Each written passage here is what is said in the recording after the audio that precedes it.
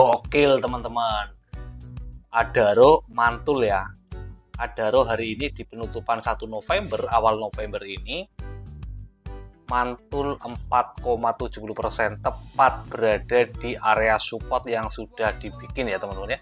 Ini adalah area support dengan garis berwarna hitam mungkin bagi teman-teman yang sempat ambil posisi pada hari ini ya saya sarankan tetap hold aja ya teman-teman ya. Hari ini naik 4% mudah-mudahan nanti bisa break out ya. Mudah-mudahan bisa sampai sini dia bisa ngebreak area sini. Teman-teman kemudian dia lanjut naik breakout ke atas dan capek di target yang sudah kita tandai. Warna kuning yakni ada di 4700 sekian.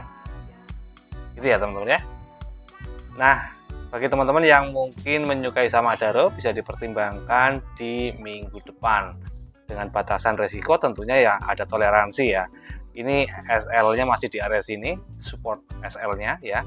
Jadi nanti dia kita harapkan bisa breakout kemudian TP di sini. Thank you teman-teman, itu aja dan selamat beristirahat. Jaga kesehatan selalu. Terima kasih dan bye bye.